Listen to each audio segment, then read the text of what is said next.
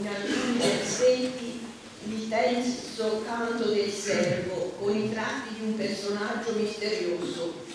Molto presto la tradizione cristiana vedrà in esso la figura del Signore Gesù.